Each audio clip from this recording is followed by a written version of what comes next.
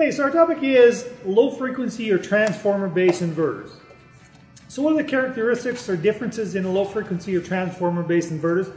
Well, number one, typically this is this inverter is going to be a larger footprint, it's going to be bigger and or heavier uh, than our typical uh, high frequency inverter. Why is it going to be bigger and heavier? Well, inside a low frequency inverter, it contains a large copper transformer. That copper transformer is going to be what converts the DC voltage to AC voltage versus in a high frequency where it's got electronic components in it, so not as heavy, doesn't take up as much room. Some of the uh, performance characteristics of a low frequency inverter would be the surge capability.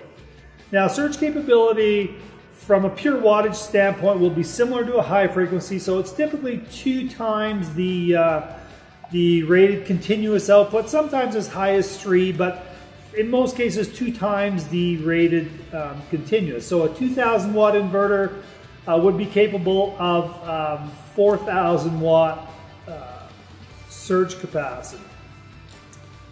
The difference being uh, the surge time on a low frequency inverter is approximately five seconds versus a high frequency inverter that, that'll surge for about five milliseconds.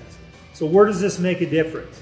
This makes a difference when we're starting uh, motors under load. So compressors and air conditioners would be two common uh, things, motor loads that start under load uh, and require high surge capability that oftentimes a high frequency inverter won't start no matter what, what the, the, uh, the surge rating is.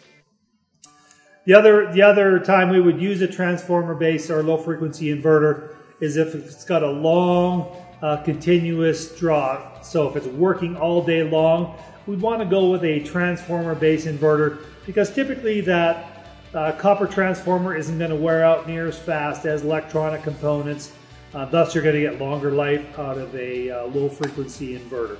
And typically, we're going to find uh, low frequency inverters in renewable applications, of grid applications where you know the loads are larger and longer versus mobile. But again, mobile applications that have large motor loads are where we're going to find low frequency inverters. So for more information on this and other inverters, visit us at cdenergy.com.